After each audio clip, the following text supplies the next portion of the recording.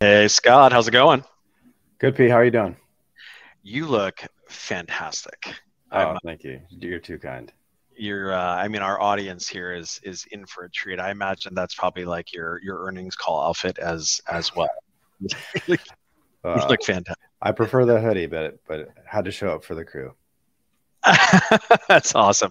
Well, um, everyone, I'm super pumped to have Scott here today. He's, for folks who are not familiar, he's the chief business officer at ZoomInfo. Probably a couple of you have heard of ZoomInfo before, um, but uh, but but Scott looks after the operations and how the like the the machine operates at ZoomInfo. And ZoomInfo, in addition to being a, like a pretty august uh, sales technology provider, you know, they're pretty pretty non-shabby uh, sales organization themselves. So I'm really excited to hear um, to talk with Scott about about those things.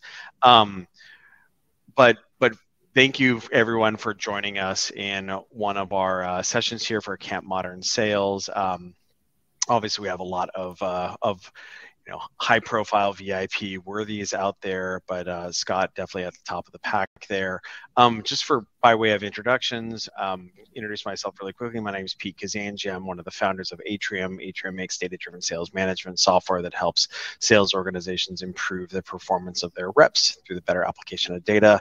Um, and uh, prior to Atrium, I started a recruiting software company called TalentBin that was acquired by Monster Worldwide in 2014. And that's kind of where I went from being a, a business generalist founder to a first sales rep and then a sales leader and then off off into the off to the races.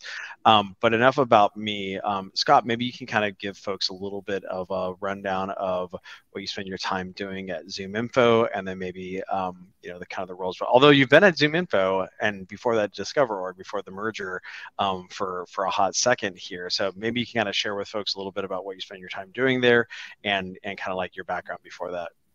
Awesome. Yeah. Thanks again for having me. Super excited to be a part of this. And uh, and support you in the community. Um, so a little bit of a non-traditional SaaS background. I came out of automotive. I worked for Daimler for about a decade, um, building cars wow. and trucks, and then uh, got the opportunity, wanted to pivot into to SaaS and um, go a little bit smaller. So um, found Henry and the team at DiscoverOrg who were doing big things and jumped in to help them acquire ZoomInfo.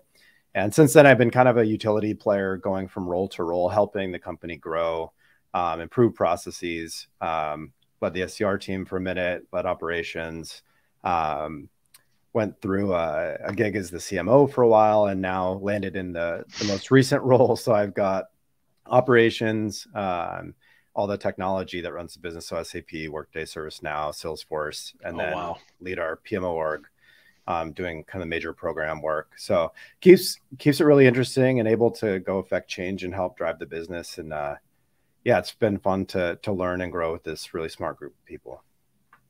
Yeah, how um that is that is that that's fantastic. Um, you know the the funny thing is is that like I, I a lot of people don't know this, but I came to or like how I started to understand data driven sales management was really because um, my my dad's a mechanical engineer and he had me read this book um, when I was 18 called The Goal. And um, the goal is um, it's a fantastic book. It's uh, a narrative parable, um, but it's um, manufacturing. It's like you know operations research, manufacturing optimization book, written as a novel, obviously, right? In order to keep it you know keep it spicy. And I read that when I was 18, and you know I've read a couple times since then and what have you. But when I first started, um, you know, selling at TalentBin in um, 2011 or so, and had a couple reps, I started kind of seeing like how it rhymed. I'm like, oh wait a minute, this is like this is kind of like a factory. We've got the SDRs, and then they they put a meeting on the AEs, and the AEs have a certain amount of meeting and like ops that they can carry at any given point in time. I'm like, oh, this feels like you know, this feels like that, and like, oh, there's a constraint here, you know, there's Herbie, etc. And and then you're literally from a manufacturing background, so uh, I mean, like, so when I found that out, I was like, oh, well, that makes a ton of sense. No wonder the ZoomInfo sales organization is just like chugga chugga chugga chugga chugga. So, you know, maybe you can kind of talk a little bit about you know how you think of sales organizations and how it like as relates to operational rigor and constraints and you know revenue factories and what have you maybe at, at zoom info and kind of like you know how your background kind of like tied to that? Um awesome. Yeah the goal is an amazing book. Uh i so i actually majored in supply chain and it was required reading and uh and if you haven't read it there's now a new book the phoenix project which is kind of a devops uh, digital technology adaptation of the goal uh, an mm-hmm. homage back by gene kim um, out of portland here actually and it kind of applies those same lessons to the, the tech world. But I yeah, I, I, think, um, you know, I, I often joke that, you know, I, I don't have certain particular hard skills or, or technological. I didn't come from a coding background. I didn't come from a sales background. And the things that I can do are take a look at processes and help understand and mobilize people to make those processes better. And kind of came from the Toyota production system and and the, the goal and theory of constraints. But i think when you when you step back and you look at it there have been people trying to unpack manufacturing processes for you know hundreds of years decades and putting a lot of significant thought into it. And they came across these insights. And so it was an aha moment for me when i came in and i'd say you know we're trying to balance the funnel all the way through. And we're seeing this bottleneck in the process. We're seeing uh, we have more leads than SDRs, or we have too much capacity here or there. And then you start to think about concepts. There's a concept called line balancing, which across your supply chain and your and your production line, everything should have equal capacity. And anywhere where you right. have low low capacity is going to be a naturally limiting factor. And so it's like, oh, right. if I then go and design my revenue process, um, more leads actually doesn't mean necessarily in and of itself more revenue and I think everyone has this uh, view that, oh, let's just double this input and we're going to double the output. And that's not really how right. it works. Um, and so that leads you to partner better, to design better processes. If I can work with the CMO and create a fully balanced plan of you drive this right. many leads, SDR team, you you know you have this many uh, SDRs to drive capacity, it flows through. And one of the insights going from whatever you know 400 people as a company to for you know nearly 4000 is we're a lot more aware of those mechanics and right. hey we'll need to hire this many aes to offset this you know this spike in demand i i equated even to like biology if you were to double the vegetation yeah. in a forest then all of the deer population doubles the wolves double but then they eat all the deer and the whole ecosystem collapses it's a it's a very yeah. systemic type of relationship and so the more you can understand those systems uh, the better so yeah I, this was something that was like like we um we saw this quite a bit of talent and this actually like influenced the creation of atrium was i got pretty good at salesforce reporting i got pretty good at like you know hacking things together and um, just the notion of instrumenting both the quantity but then also the quality of selling behavior all throughout the funnel became really important because like as an example on the lead um, gen point if you just like double the amount of leads you'll just end up with a pile of leads in front of people right? Yeah. not being worked. And uh, as we know from the goal inventory is not our friend right? Like it's essentially money that we then you know paid to Google AdWords or LinkedIn or maybe SDR salary expense or whatever, and then they created these little ops that are then sitting there in AE pipelines, not being touched or being touched infrequently or what have you. And so then, um, like those, you maybe heard some metrics that I was talking about there, like untouched opportunities that's a quality metric that would indicate to us that somebody is potentially overloaded right? Or you know or time between touches right? And so this was something that like really influenced the the way that we think about measuring and managing and improving the performance of of individual reps and like much more broadly teams was just this notion of having like instrumentation probes in the the entire factory but and not at a factory level too because the the, the thing the thing that and i'm sure that, i would love actually your take on this. The funny thing about factories or like you know just like manufacturing processes or what have you is like the, it's like machines acting on like like widgets or what have you and there's not like and it's kind of deterministic. Not 100% but it's like fairly deterministic. Whereas the things like our factories that we deal with it's like the machines are people right? Like salespeople.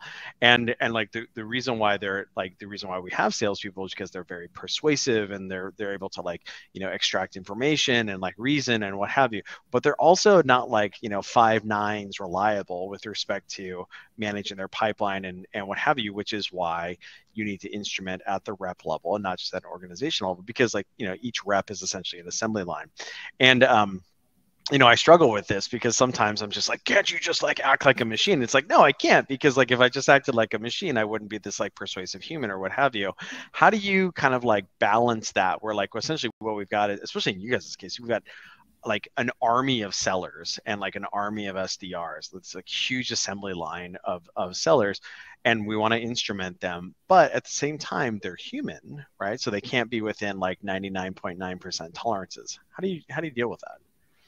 Yeah i think um that has been one of the biggest learnings for us is the human component of designing processes and also the focus on revenue enablement. And um and, and kind of this importance of frontline leadership and and their ability to coach mentor and manage to metrics um, I think in sales, a lot of times we talk about the number one rep, the the all star closed 10 times quota, just this amazing individual, and everyone wants to copy. And I think that's that's great, and we should celebrate that individual.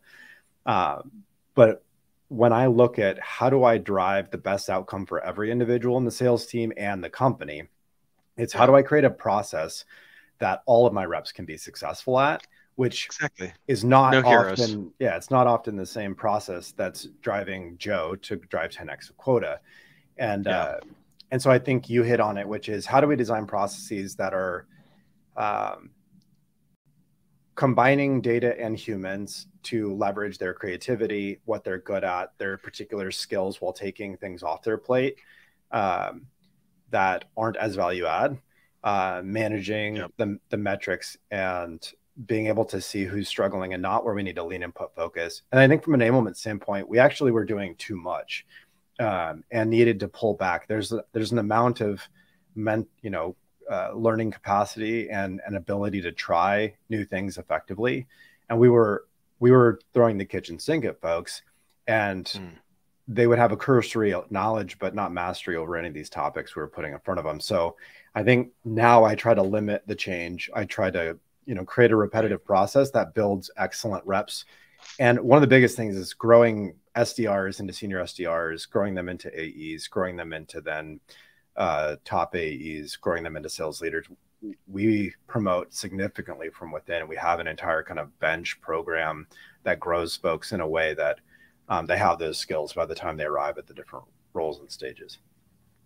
Yeah, I like the um, the notion of like a process that is reliable and you don't need like you don't need heroes right? Like something that can work for the army and doesn't necessarily work doesn't have to require green berets.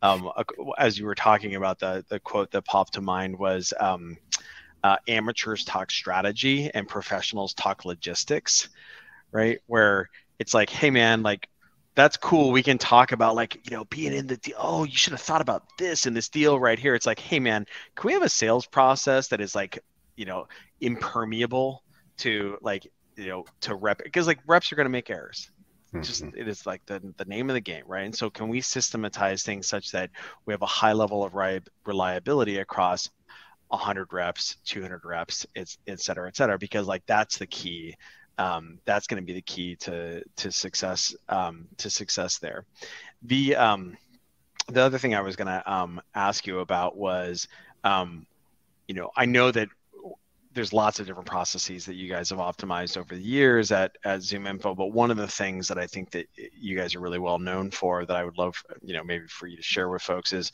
the speed to lead process.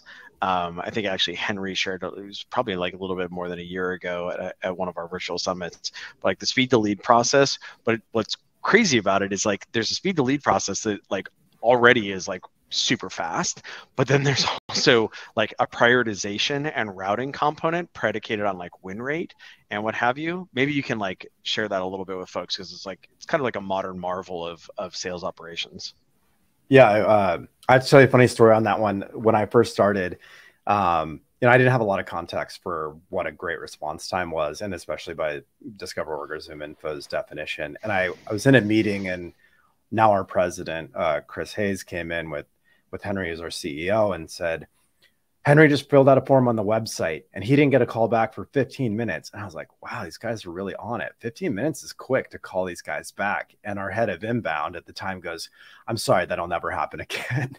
and I'm going, oh, this place is wired different. And then I, you know, after the fact, I'm like, hey, you know, what's our SLA? What's this about? And he's like, we call everyone back in 90 seconds. And I was like, 90, that's that's wild. That's insane. And so unpacking it, you know, I kind of worked with that team to understand. And and like just from a basic human principles perspective when i'm on your website and i'm engaging with your site and i fill in my name i take all that time to peruse your website and take enough initiative to go in and say like i want to learn more. In that moment is is the peak of my curiosity.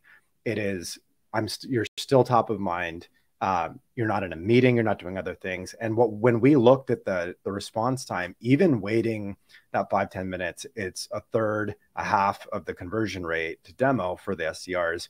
Yeah. And so we made it a priority on our leads, uh, especially the best ones to call back. So um, when when everything comes in, uh, we're able to get it into Salesforce um, now.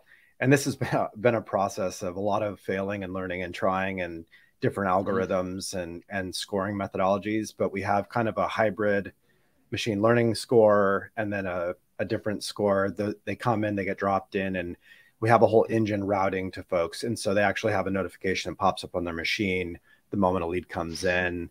And then it, it pulls them out of the queue when they're working that lead and, and everything gets round mm-hmm. robin to a whole crew. Um, so yeah, it's it's been a journey going through that. And I would I would encourage people, you know, we didn't arrive at 90 seconds and you know 70% conversion on those leads in a day we started out and we were converting 10% of leads and calling back in 15 20 minutes and we said right. okay if you look at 90 seconds it's not achievable in in your head you know at the moment so yeah.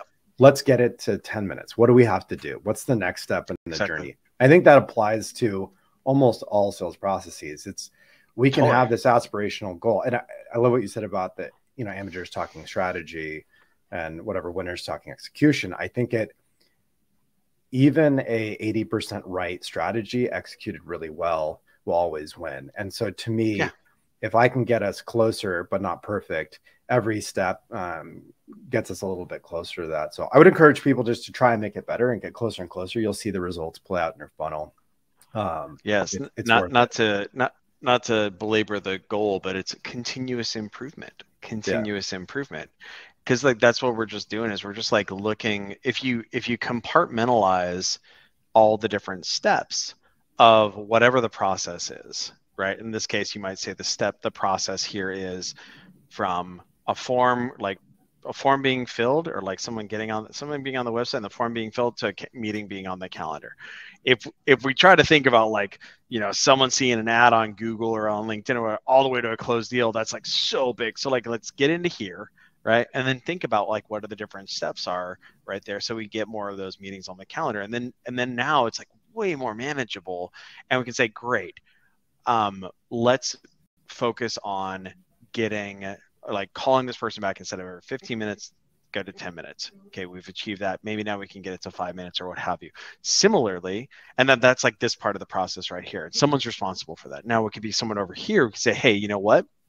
We just want to make sure we want to raise our conversion rate from disco to you know poc whatever right? Like, okay, cool. Like we have some, you know, sales assist motion, like ZoomInfo. I would imagine it's like, hey, you guys want to see some of our sick data? Let's go ahead and like do some sort of like, let's just if we just raise our conversion rate instead of getting like 20% of those folks out of Disco into that, maybe just get 25%. I'm not even asking for 30. I'm just asking for 25, and then think and then like put that bug in everybody's ear to then be driving to that next step. Lo and behold, then it becomes part of the muscle and then then you move on to the next one right? Now of course what we want to make sure that we do is we codify the thing that we just learned like okay cool we're not going to like back we're going to move on to something else we're going to backslide back from 10 minutes to 15 minutes. You just systematize it. But in these in this approach you can then you can isolate these issues and then honey badger them right? Whether it's organization wide or the thing that we work uh, we talk with our customers a lot about is like figure out what the constraint is on the rep level, right, mm-hmm. on the mm-hmm. human, and then honey badger that, right? Like, hey, Bobby, you've got a big untouched opportunity problem. Hey, Susie, you have a customer facing meeting problem. They're different for those two, but we're going to honey badger that. And then once that's retired, we're going to go to the next one. And like that way, it can be a lot easier for people to like, you know, rather than trying to boil the ocean, you compartmentalize a problem and then you can fix that specific problem versus just kind of being like a wash and like oh man this is like such an insurmountable thing right? So I, I think it's actually an interesting question because you were talking about like you got your program management team and what have you. At this point you guys have like you know a thousand plus person sales organization. How do you select the thing that like is gonna be honey badgered next right? Like gonna be compartmentalized and and kind of take and you know get your attention and get your team's attention yeah, I think um, that that honestly is one of my biggest priorities as we scale as an org is how do we really set a a high level strategy and then within that we make really good prioritization decisions uh, within yeah. the RevOps team. And so all of our org is using a consistent framework to pull in all of the various improvement suggestions. So we lean a lot and have really great uh, relationships with our internal stakeholders. So if it's CX mm. or the sales org, they're coming with, we'd like to improve the router to do this, like our off hours or international coverage. We'd like to have more rep availability or better cascade logic of meetings booked after 8 p.m. Uh, and so we'll bring all of those in and then crash them against our kind of top priorities. For us, you know we want to grow our enterprise business and and continue to mm-hmm. mature our sales organization we want to deliver amazing customer experience if it doesn't fall into those major buckets we really do kind of a tough look and say should we be spending time on that and then i think for it doesn't need to be complicated but you have right. to have a list you have to determine what is the impact and there's a few ways to get to that if you can get it to acv or whatever your metric is revenue um, that's amazing but even if it's just how many people or uh, how many things are impacted by this process and how much can we improve it, it's a very good proxy for um, the benefit and then look against the effort. And um, all of my prioritization is effort versus impact and basically kind of a combined output of what's the best thing to work on, making sure it aligns to the, the core priorities of the organization. And it maybe sounds complicated. It's it doesn't need to be. And I think even if well, you're a very small organization, create a spreadsheet, go through it, align with your other leaders. The, the most important thing is actually less what you do, it's that you all do it together. And yeah, I, I think that's a good point, right? Like, yeah, you follow it all the way through. You were saying? No, I just, I, I said, I've, uh, we have had moments in our journey where we've had amazingly smart people with amazing, great ideas and the reality is that, and especially with a, a younger, less resourced organization, you will have to say no to good ideas in yes. lieu of better ideas or more relevant, time sensitive ideas. And again, you have to focus on as an entire org, how do we how do our product initiatives line up to our marketing initiatives, line up to what we're doing in the sales org, and that every, you know, whatever product is being pushed, whatever features being pushed, marketing is supporting and the sales guys can go put it to market and the customers actually want it and find value in it. And it sounds easy, but it's way harder. Um, than well, yeah, because you're aligning like a ton, a ton, a ton of like humans, and uh, like I'm a big uh, Jason Lemkin fan, um, and you know, I think that he talks about this as relates to he talked about it as relates to like um, startups getting acquired by a larger organization. It becomes mm-hmm. less about like you know specific innovation. It becomes more about like a lot like specific innovation and, and like bias to action. It becomes more about like alignment. And um, but I think that the same thing applies as like a small organization becomes like a medium organization because a large organization, right? Um, the uh, it's it becomes more about alignment right? And like you know just making sure that like all everybody is like rowing in the same direction. Um, and what that means is and i think a lot of times people struggle with this is say hey you know what? We should really fix this thing right here. And it's like you know what? I think what you're saying is like this is a problem and i agree with you. You are right right? But we got a lot of problems right? And like that's not because like you're not perceptive like that is you are right. But what we need is a framework by which to say hey what is the economic impact of that problem? And like what is the perceived cost associated with solving that? And part of the perceived cost associated with solving that might not be monetary cost. It might be the fact that scott only has I'm thinking about it in a small organization, think about a sales org, like, hey, I only got one sales ops manager, right? Or I got two, right? And so if if he or she is working on that, they're not working on this over here. So really what we're just doing is we're just load balancing, right? We're just load balancing our lines, right? And making sure that those those folks have like they have enough on their plate that they can do and execute at a high level of quality. In this ha- case, it happens to be programs versus ops, right? For like, you know, AEs have like, hmm. oh, cool, you've got 50 ops in your pipe. No wonder your untouched op, you know, are like going bananas. Oh, cool, uh, Mr. Sales Operations Manager, you've got eight projects that you're working on. No wonder nothing's getting done, and everything's like done in a half, you know, half baked fashion. And so, just making sure that you're like you can do that with a single sales operations person, right? Say, hey, you know what? Let's prioritize. Like, sorry, let's list out all the things that we want here and and and say like, hey how common is that and how hard is it going to be to at this point like i mean how many people are in the in the uh, in the operations and uh, you know in the, or sorry the PMO org for you guys, you're probably still resource constrained even after the point that you have like dozens and dozens fo- uh, of folks to like work on stuff and make things better, right? Yeah, the um, yeah the PMOs uh, maybe 12 to 15 doing major programs, and then the operations team who's managing all of the kind of core sales processes, maybe 20 plus um, folks, but yeah, there's a, a real high degree of coordination that has to happen there. It, it you know reminded me of, um, it, and I guess a piece of career advice because my wiring was I'm just going to maniacally run through as many things to get done as I can, and I'm going to demonstrate brute force that I'm a doer. And and there's value in that, and I think people find oh those, those people you know they're great they have insane work ethic and they they work really hard and what I eventually found was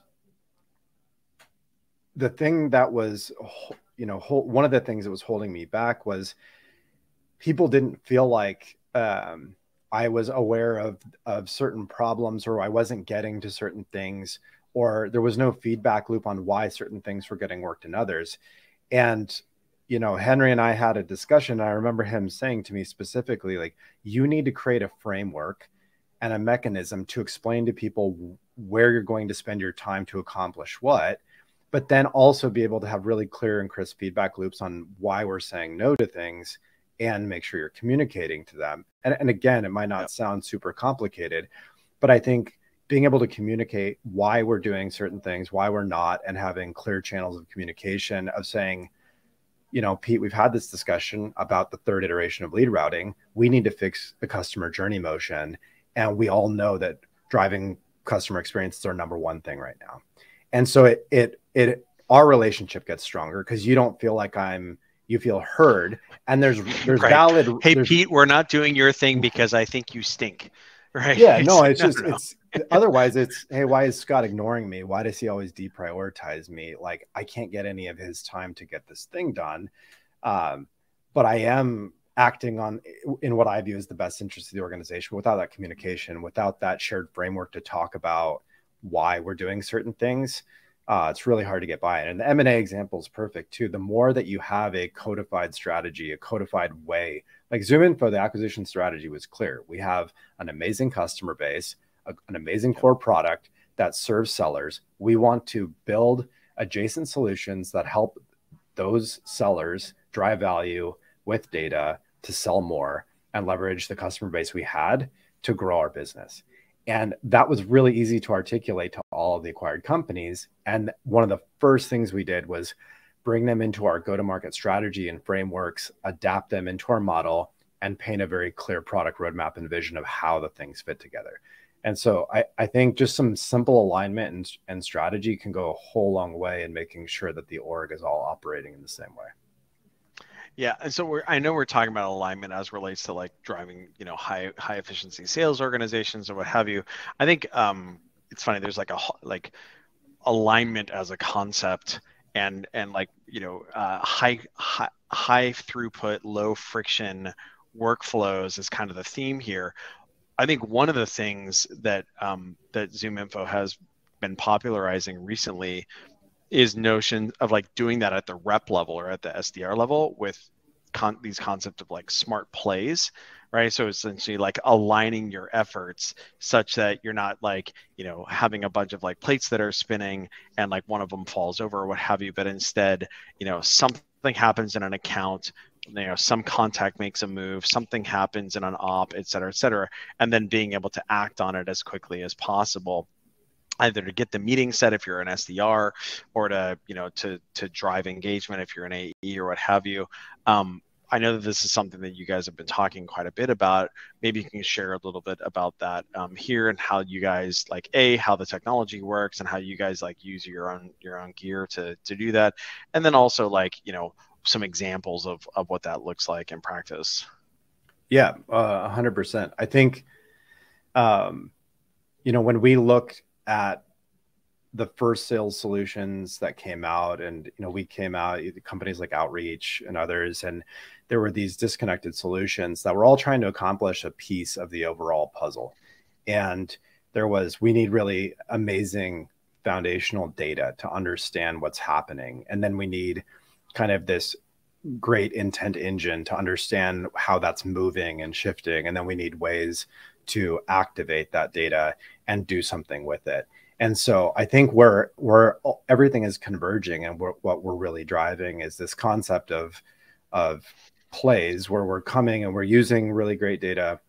We're using a logical rule set and engine, and then um, you know we're having really great activation of that through uh, email cadences, through through calling, through next best action um, for the reps. And so when I think about it, we you know we were the guinea pigs largely internally. I built out a team called revgen um, and it, it, was kind of a marketing team within ops um, that supported sales and their only mission is sending out emails and cadences and, and running plays in reps names whether it's an sdr or an ae and so it. we ran hundreds of plays. Um, so every meeting that you take uh, when the meeting is over you're automatically loaded into a sequence based on your persona, the product that we talked about, um, and then the type of business you are. And we had bespoke cadences that would keep you engaged. And so, we, you know, we talk about a rep, they have really great intentions and they try to do as much as they can, but sometimes they don't follow up.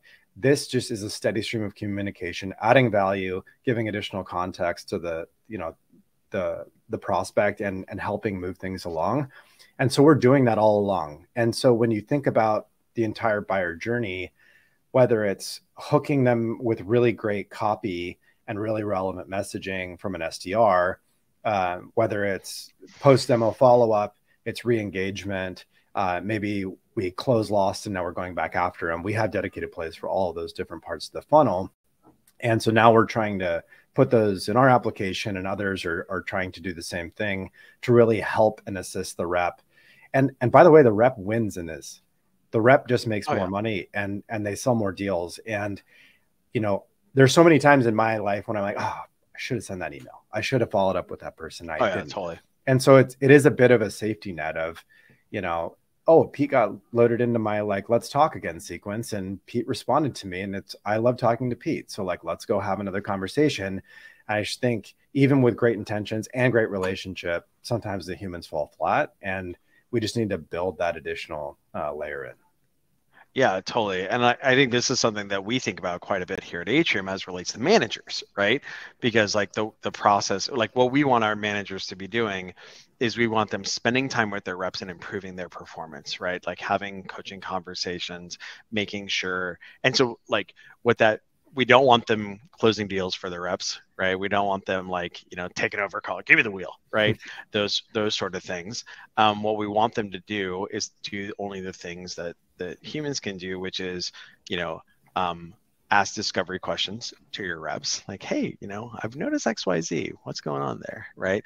Um, and and provide guidance and and coaching. And so you know making sure that like reducing the amount of time that managers have to spend you know digging through charts and dashboards and whatever in order to like read the tea leaves to understand what's going on versus like and this is a big thing that we've been doing with generative ai recently with our new sales coach functionality is just synthesizing across like what's going on with this rep? It's got a bunch of different metrics. Atrium is already doing a bunch of stats on it. Hey what's going on oh a number one problem pipe hygiene problem right here based on this metric and this metric here are the three things that you should do about this. You, know, you should block time on their calendar to make sure that they actually have time on their their time available to like be managing their pipeline maybe pair, pair them with a colleague and then you know uh, you know bump up your uh, your pipe uh, your pipe review cadence. You know bucket number two here's the thing. And and i think that like in this case, the managers that we work with, it's it's not like, oh, here's this AI or there's this machine like telling me what to do and like, you know, forget you robot or whatever. It's like, hey, yeah, you know what? That is really nice. now I can go talk with like, you know, Frank in our one-on-one and have like really thoughtful things to say versus just talking about deals like we like we normally would do. Um, I think that like yeah, and I think that you guys have been doing some some interesting stuff around kind of like um, generative AI stuff. I know that like we're a um, you know we use Chorus over here at uh, at Atrium. My reps have been jumping up and down about the automated summarization stuff. There are other stuff that you guys have been working on that you can talk about a little bit. Yeah, the uh, the Chorus piece is pretty interesting with the meeting summaries, and it's funny. Um, we talked a little bit about the PMO org we're actually recording all of our internal program calls and it's summarizing with a transcript sending next uh, all the next steps and action items and shooting out kind of a whole summary. My pmo guys are loving it and use it for product feedback. So um, uh, just selfishly too i i mean i use uh, the tech side of gpt and otherwise all the time to to create docs and stuff and kind of shortcut thought starters and whatnot. Um, but there's yeah. a lot so I, I mean if we think about the theme of how do I support the rep such that they spend time on really value add things? I think if we can suggest the next best fit contact, draft a logical email that's well written and a thought starter. Um, and you know it's it's really great and you know I, i've looked at the coaching solutions that and the narratives you guys have with sales coach it's it's amazing we're doing some similar things um, you know we talked about a little bit about that frontline management coaching and like you know yeah. jumping in and, and swarming a certain problem we created this kind of a two-dimensional matrix for all of our reps that compares the expected win rate and expected asp of every deal and we can actually oh. kind of put them as dots as where do they fall on the spectrum of the trade-off of win rate and asp and then how much mm-hmm. are they selling in totality and we plugged all that data through generative ai and it responds back with something like, oh, hey, you know, it looks like Pete on average takes 20 days longer to sell a deal. He captures 25% more ASP. But if he was to maybe go faster and increase his win rate by concessing on price faster, his overall yield would be better. So give coaching right. to, to Might Pete in this way. And so we're using generative AI to do those kinds of things internally. Um, wow. And then trying to integrate back in uh, kind of, you know, coaching and and co-piloting inside of the platform to make sure that we can help aim reps in the right direction to accomplish the goal of selling faster and selling more effectively. I think, by the way, the prospect benefits from this because they're going to get more relevant reach out. They're going to get yeah. better messages, more relevant messages. um, you're going to get like I get a lot of stuff that's still about DiscoverOrg and do you want to sell your company and and I think the be- the better data, the better we get at um, training our tools to help avoid those situations. It's it's better for all involved. Yeah. Well, and I think you guys happen to be in a pretty unique situation there insofar as, you know, you have a, a very muscular um, database, right, of human objects, account objects, intent information, all that sort of stuff. They can be used in order to generate you know appropriate um, appropriate messaging and and what have you um, i was you know uh, gong is another one of our speakers here at the virtual summit and they're talking about it as relates to you know context in the deal right um, because there's a lot of context in a given deal, which makes a lot of sense. Like this is what a CRM is supposed to do, is like customer relationship. But of course, it's like spread all over the place. So it's like having context of the deal is is very powerful. Um, but you know, if you don't have that, it, like if all you have from a prospecting standpoint is, you know, first name, last name, title, et cetera, et cetera, on the you know on the contact object or on the lead object or whatever pretty difficult to like generate something meaningful right? Versus like you know having the totality of all the fields right? Like i don't know how many fields there are on on a ZoomInfo contact object but it's it's got to be like dozens and dozens and dozens. And of course like it's you know connected. It's a child of the contact of the account object which probably also has you know dozens and dozens of fields.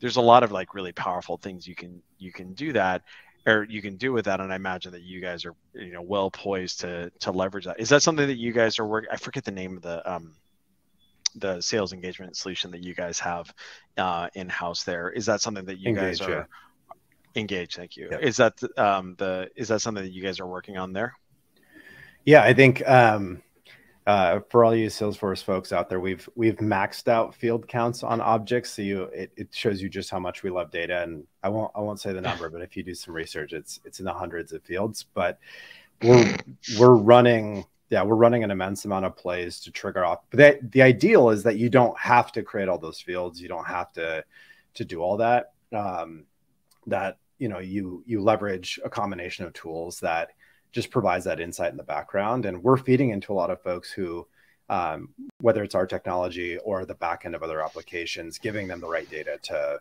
to make the assessment of who is the next best person, what is the next best message, that rich context of how many people do they have, how you know what's the revenue, um, what are they spiking on, and so I think to me it comes back to it, it's it's interesting and maybe puts me out on a limb, but I think in you know in in the older days, you know, sellers could be putting stuff directly into a financial system in an ERP. And so then came along like a better solution with CRM of a more workflow centric tool that was around the sales motion.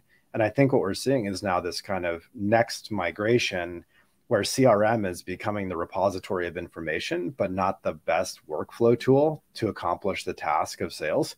And so it's a whole nother breed now. And I think unless CRM potentially adapts more or changes, it's going to be relegated to the background of being more of a data repository and database. Yeah. Yeah. And I think if if you were to look five to 10 years in the future or less, um, reps potentially don't go into CRM at all, and they live completely in a suite of tools, just driving their opportunities forward.